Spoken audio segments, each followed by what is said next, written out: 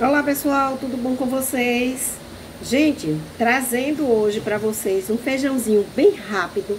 Esse é o feijão macaça.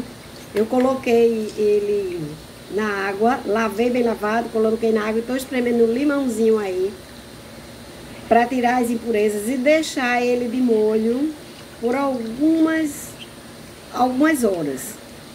Tá bom? Aí ele vai aí, vai crescer e vai ser bem rápido quando ele for para o fogo. Já se passaram algumas horas, eu já coloquei azeite aí para dar uma refogada. Vou escorrer ele. Olha, ele tá aí, já cresceu bastante. Vou escorrer pra gente colocar no fogo. Então, ele tá aí, ó, bem escorridinho, azeite quentinho. E agora nós vamos começar a temperar nosso feijão. Aqui eu tenho pimentão, cebola e é, cheiro verde, coentro. Eu vou dar uma refogada nisso aí, pra gente refogar também o feijão. A gente deixa tomar bem o temperinho aí, refogar a cebola para ficar bem delicioso. Vamos lá, então agora eu vou colocar mais o temperinho. Eu tenho coloral e páprica picante e coloquei tempero baiano. Aí. Pra continuar aí o refogado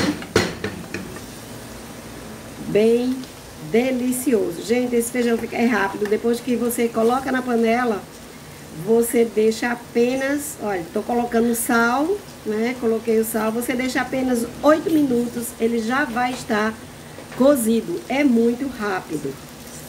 Se você botar então de molho de um dia para o outro, melhor ainda. Então agora nós vamos despejar o feijão. Olha lá. E vamos deixar ele refogando um tempinho. É rápido, não precisa ser muito tempo não, só apenas. Agora coloca água, eu coloco água passando, cobrindo o feijão e passando um pouquinho, porque ele ainda vai terminar de crescer um pouco. Então tá aí, tampar a panela e deixar ele cozinhar. Mas antes de tampar a panela, ó, eu esqueci, aí eu voltei para colocar pimenta de cheiro. Gente, eu faço essa pimenta caseira, é muito boa.